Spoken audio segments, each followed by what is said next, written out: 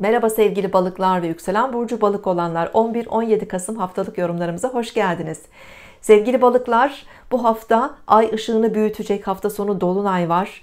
E biraz da olaylar belirginleşiyor. Kararsız olduğumuz konular bir netleşiyor. Gizli olan olaylar açığa çıkmaya başlıyor. Böyle bir haftadayız. E, toplumsal alanlarda da tabii ki dikkat çekici gelişmeler olabilir. Pazartesi günü ay balık burcunda olacak.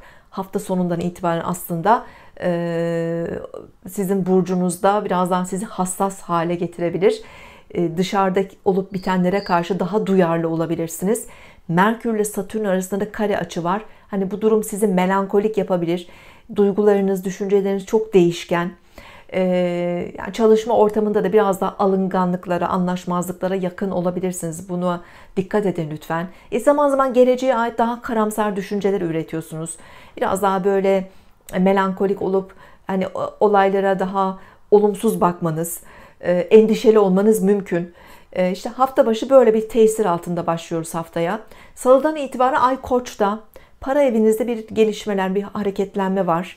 E Mars'ın da Aslan'da olması aslında iş temponuzu destekliyor. Yani çalışanlar için bu hafta enerjisi anlamda çalışıp üretmek için, ticari alanlarda özellikle para kazanmak için iyi bir hafta. Özellikle salı öğleden sonraki saatler, çarşamba günü buralarda daha güzel gelişmeler olabilir.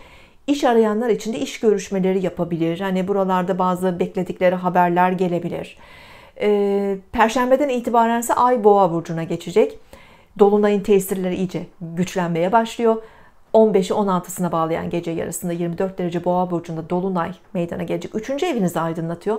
Bu dolunay aslında zihninizi, düşüncelerinizi olgunlaştıran bir dolunay. Yani bazı önemli kararlar verebilirsiniz. Bir ilişkinizle ilgili, bir işbirliğiyle ilgili bir karar vermeniz bazı konularda bazı anlaşmalar yapmanız, sözleşmeler yapmanız olabilir. Yani bir şeyleri satmak, kiralamak gibi de olabilir, bir iş anlaşması da olabilir.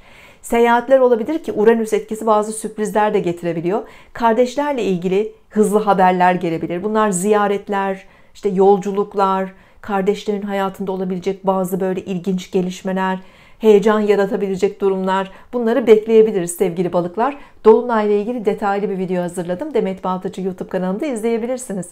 Hepinize sağlıklı ve güzel bir hafta diliyorum. Hoşçakalın.